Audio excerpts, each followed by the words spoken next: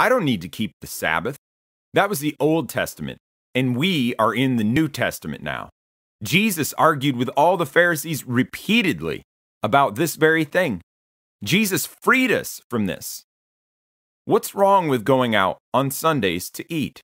Or, I didn't have any other day off, so I needed to go grocery shopping.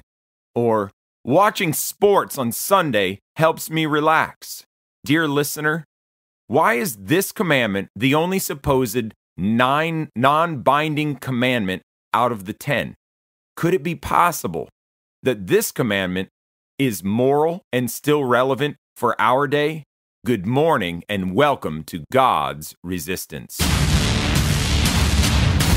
God's Resistance is local in Wilkes-Barre in the Wyoming Valley and spreading elsewhere. If you need someone to talk to or pray with and are interested in joining a small group to help you live as a disciple of Christ, stay tuned for contact info. My name is Eric Samborski, and I want to thank you for tuning into God's Resistance, where we resist sin, self, the devil, and the world. You can hear us every Sunday at 9 a.m. on WITK 1550 AM and 94.7 FM. If you missed our radio program here, then look for the God's Resistance podcast on your favorite podcast platform and YouTube at 9 a.m. every Sunday, where these are uploaded, and you'll find other content on there as well.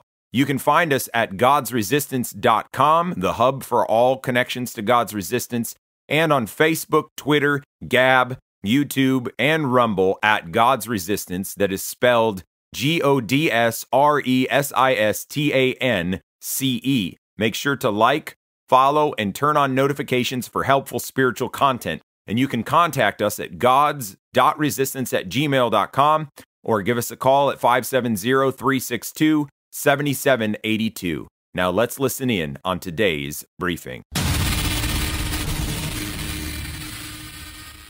We live in a me society today. Me, me, me. What do I think? How do I feel? What makes me feel better? You can go to Barnes Noble. I was just at a Barnes and Noble a little while ago, and you can look at the self help book section. It takes up about five or six wall bays. Those aren't just the, the bookshelves in the middle of the store, but the very tall wall bookshelves that are around the perimeter of the store. And that the self-help books take up five to six of those wall bays. But then if you go look for the section on Christianity, there are about three sides of bookshelves that are reserved for Christianity.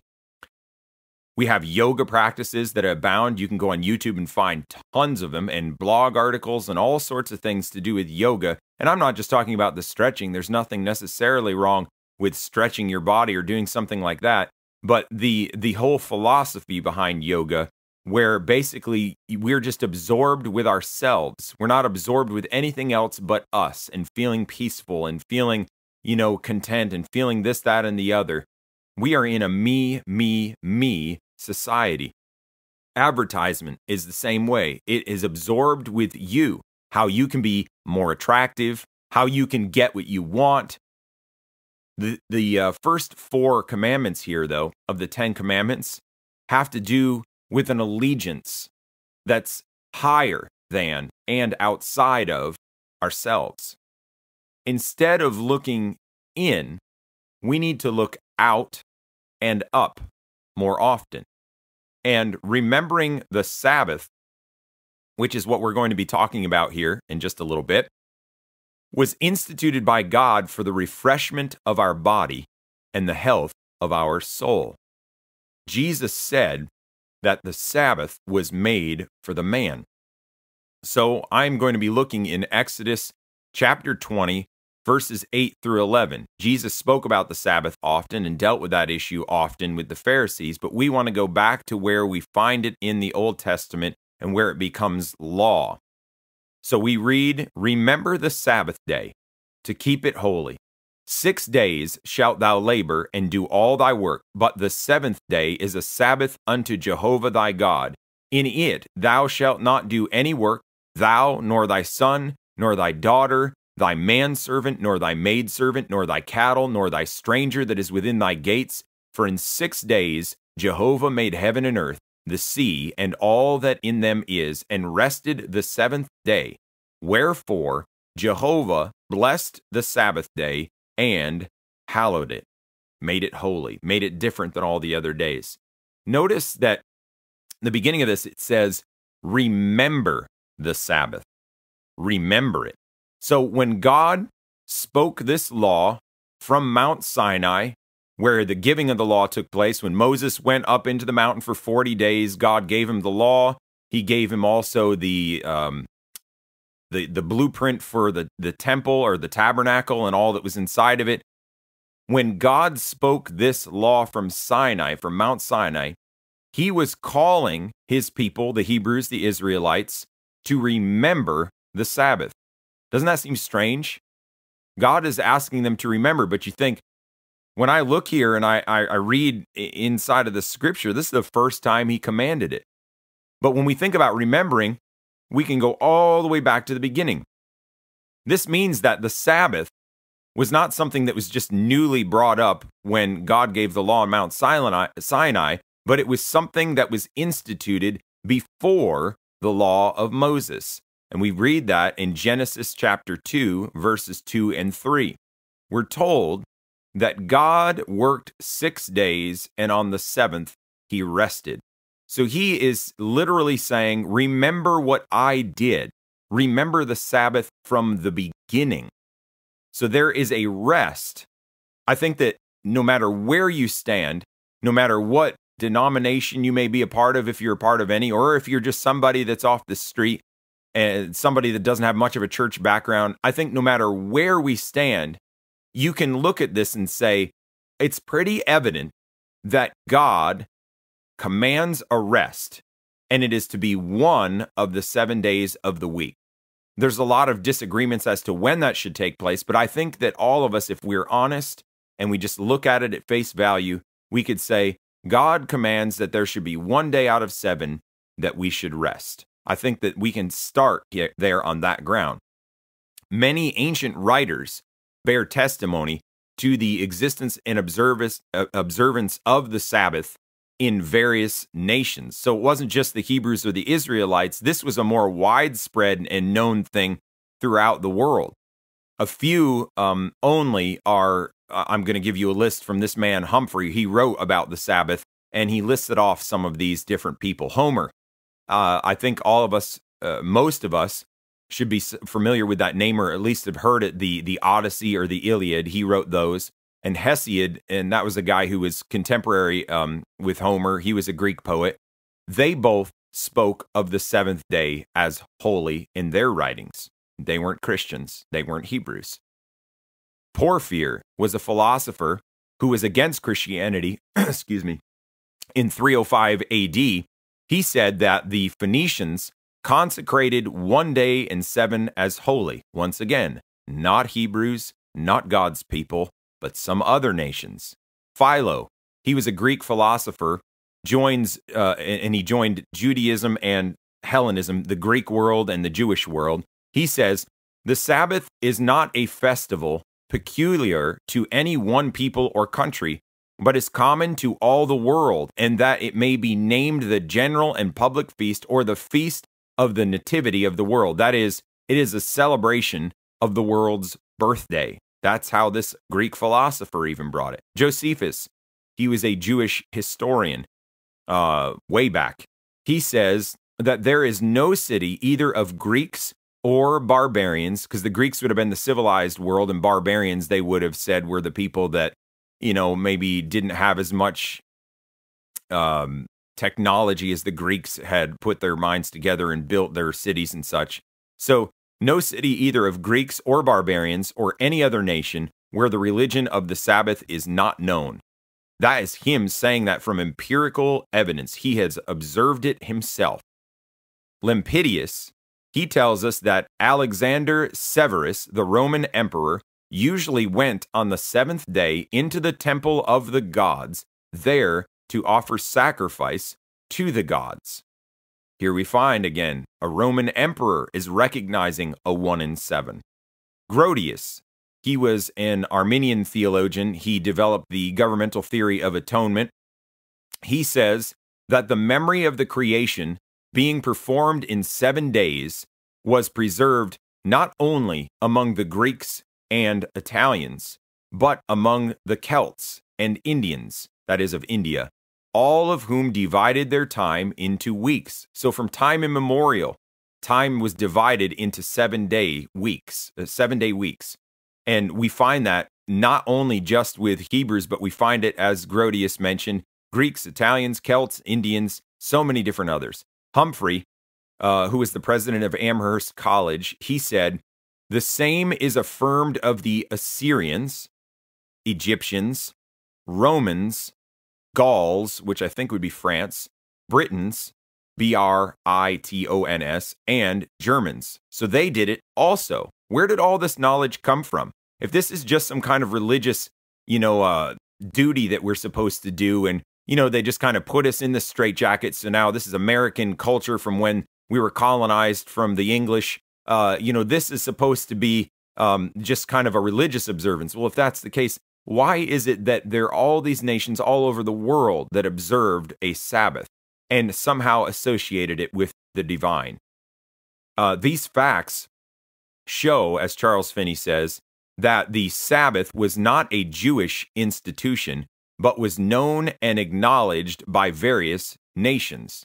This proves another point that, that the conscience that we have, the understanding of morality that we have, does not come solely from upbringing and teaching, but is written on the law of our heart, is written on the flesh of our hearts.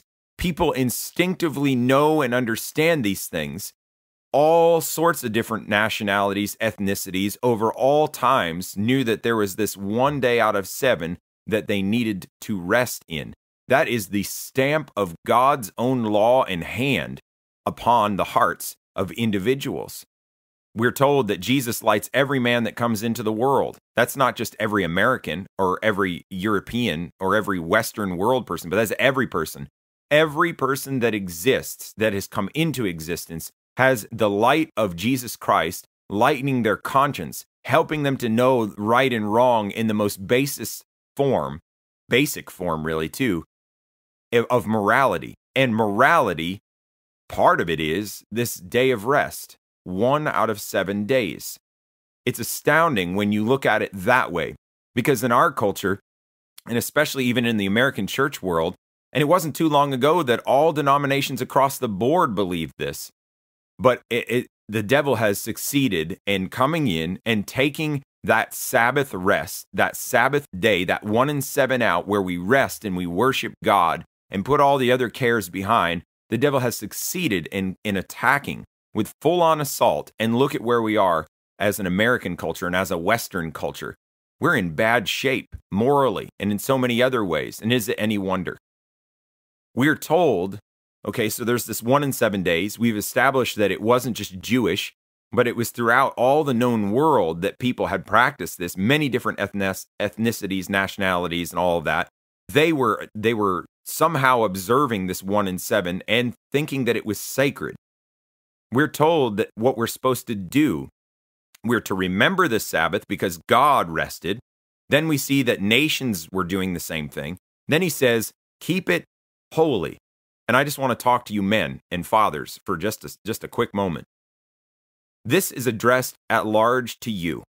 You are supposed to be the one that shoulders the responsibility of leading your family in the ways of right in, in, in how to live like people, productive people in society. You men, this lays on your shoulders. You are to then keep this day holy, set it apart, show your family what this looks like. You're to be the, the spiritual priest of your home. You're to help your family to walk with God. You are to shelter and protect them from evil.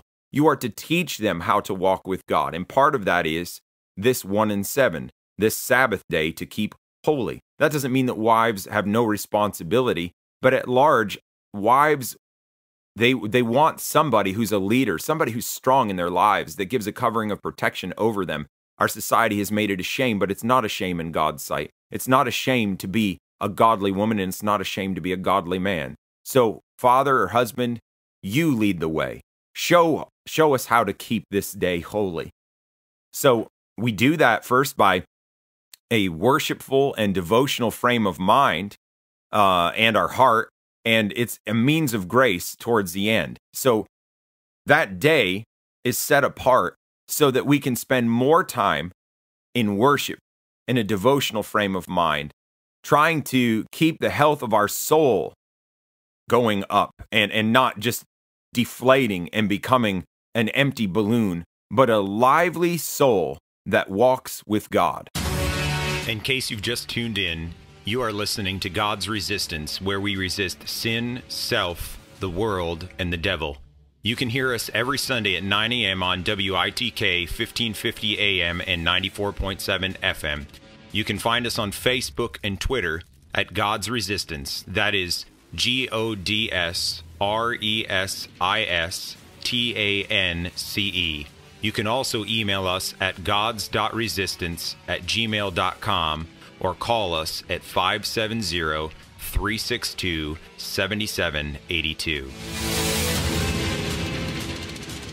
Well, not only is that one in seven days supposed to be to cultivate the health of our soul and maintain the health of our soul by worship, a devotional frame of mind and heart, using that day as a means of grace to us. Also, the way we keep it holy is by abstaining from all the labors of the week, whether it's physical or mental. So we we make efforts to to not to think or talk about those things that are reserved for the other 6 days. We're kind of pushing those aside. It's like a vacation for us to just throw off those necessary things of work and life and focus more on just spiritual things and the rest of our body, you know, giving our bodies rest.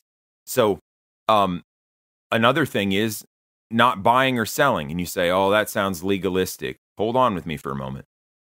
Let's look in, in the book of Nehemiah. Nehemiah 1031 it says, And if the people of the land bring ware or any victuals, that's things to buy, on the Sabbath day to sell, that we would not buy it of them on the Sabbath or on the holy day, and that we would leave the seventh year in the exaction of every debt. So they had special feast years and all that. But he specifically mentions that Sabbath day, the one in seven. If they come here to sell things to us, the people of God, we will not buy it. That was one thing Nehemiah said. So we understand a, a base principle here. Also, Nehemiah says in uh, chapter 13, and let's see, verses 15 through 19.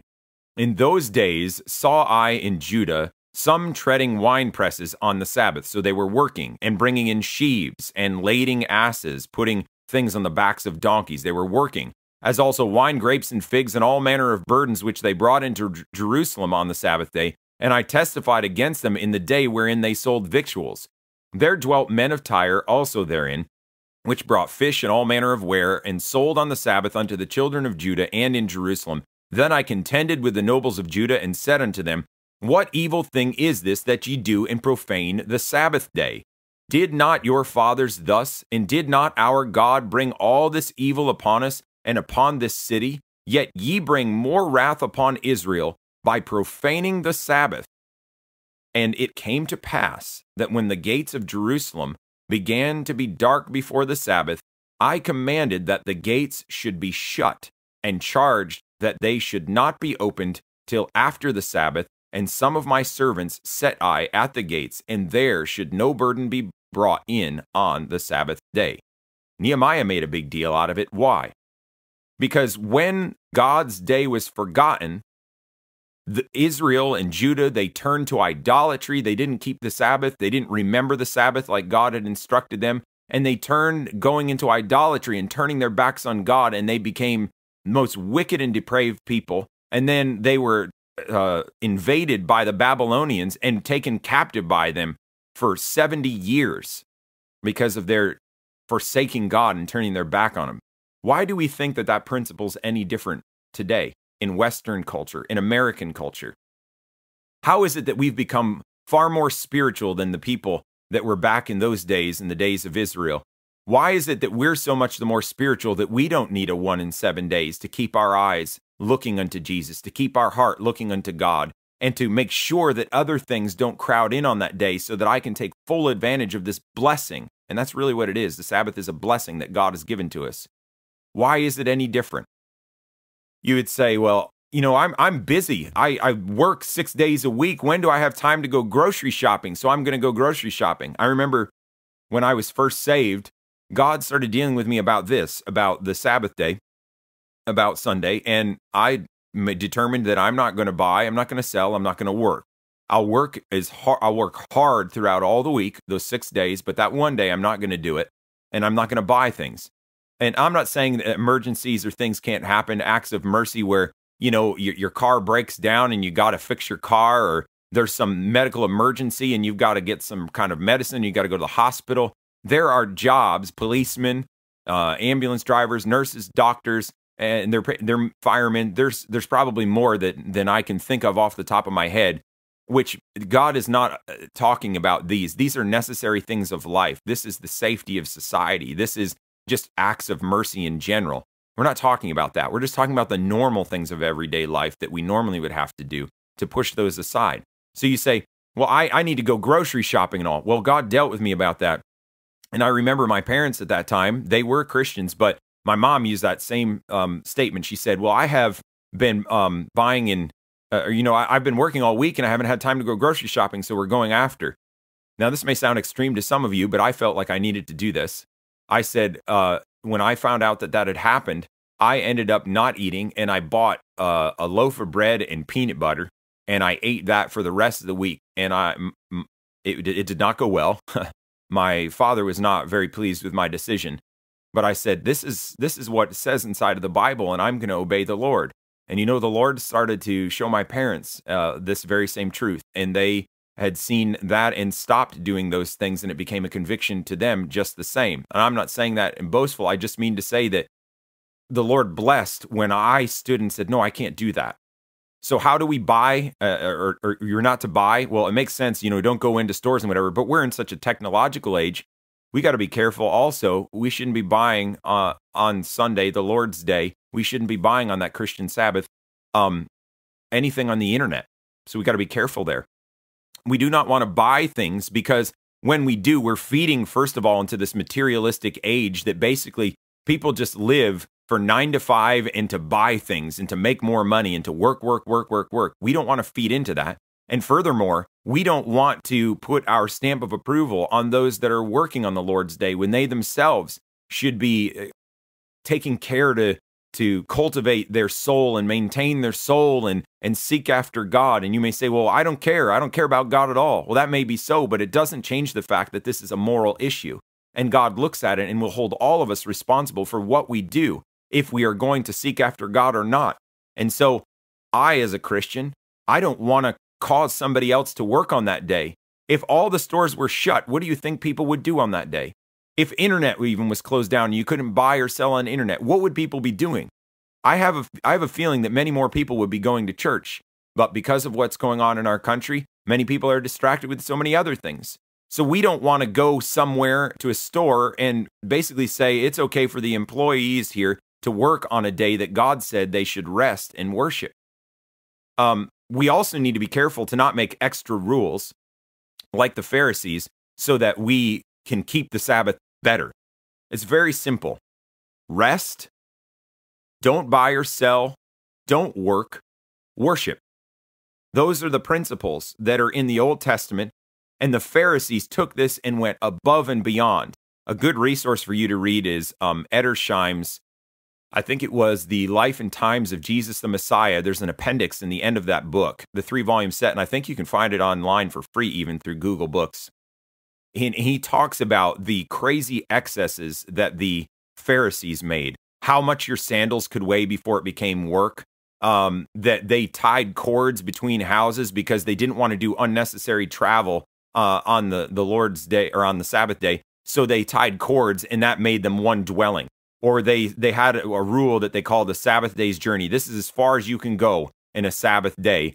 And so what they would do the day before that was they would go out and bury some piece of their belonging. And it was like when they would go out and unbury this piece of, of, of their belonging, which was a Sabbath day's journey away, then it pressed the reset button so they could go another Sabbath day. So they meticulously planned out these foolish things. And this is what Jesus had a problem with. He didn't have a problem with saying, rest don't work, don't buy or sell, worship. He had no problem with that. That's what he was hoping was going to happen, that they had a heart to want to worship God and leave these other things alone for this day. But they had taken it into such excess, and we need to be careful there too. Um, you know, we need to be careful about just uh, anything. And I don't, I don't want to delineate it too much, but if we don't really need to be traveling on, on a Sunday, we should park it so that we're somewhere where we can worship and we can be with other believers and we don't get our, our attention distracted and diverted. Um, we read about the spices for Jesus' body when he was um, taken off the cross. They were prepared on the preparation day, which would have been the day before the Sabbath.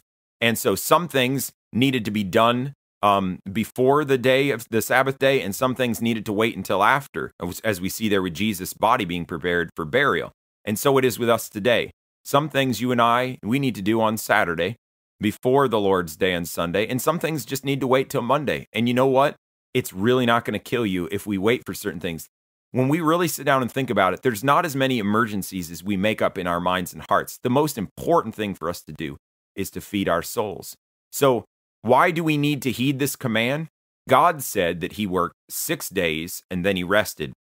31:17 of Exodus, it says, It is a sign between me and the children of Israel forever, for in six days the Lord made heaven and earth, and on the seventh day he rested and was refreshed. So God did it, and he said to do it. It's also personal refreshing for both body and soul. Take a nap, rest your body, you worked all week. Get religious instruction, get your heart warm spiritually. We are not to forsake the assembling of ourselves as the manner of some is, it says in Hebrews. And this is woven into the very fabric of creation. Six days creation, seventh day rest. The Christian is to take his Sabbath on Sunday. There are others that would argue up and down that it still needs to be Saturday, but I'm going to give you some reasons why I don't believe that's the case. The inspired apostles changed this in commemoration of the resurrection of Jesus. John says he was in the Spirit on the Lord's day, worshiping him. He says, Take your collections so that when I come by on the Lord's day, I can take those collections and bring them to the Jerusalem church. We already see they made that a habit. The church fathers kept Sunday, that is, after the apostles, they kept Sunday as the Christian Sabbath. And the general church, led by the Holy Ghost over all the ages, has observed Sunday as, and God's blessing has attended it. Don't be deceived and get all tied up in some other crazy thing where we need to keep doing it on Saturday. It is the Christian Sabbath commemorating the Lord's rising from the dead. And so we need to keep that Sabbath even today, and it's still relevant, even in a day where people try and make us think that it's not. So, do you remember, listener, the Sabbath day and keep it holy? Do you make this a vital practice of your life, of your everyday life, of your weekly life? Do you go out shopping on Sundays because you couldn't do it the other six days? I think that we have much more time than we think we do. We can be on Facebook for extended periods of time, but yet we have no time for the most important things. Do you work on Sundays? Can't you just push that aside? Are you not attending church on Sunday and instead doing your own desires? If you are guilty here, then you've broken one of God's Ten Commandments. Being guilty, you've sinned and you need to repent.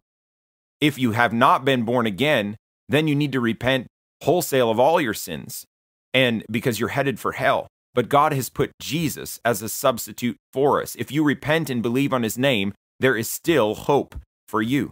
Your next step is to call 570 362 7782 or email gods.resistance at gmail.com I want you to introduce yourself to me. I want you to set up a time so that we can meet. I want to coach and help you further to walk with God. Make sure to like and follow us on Facebook, Twitter, YouTube, all our social media accounts. You're going to find more teaching, preaching to help you on your journey. You can then connect also with others that are going through their journeys. And then I want you to tell your friends about this broadcast every Sunday at 9 a.m. and our social media accounts. But above all, join the resistance, God's resistance.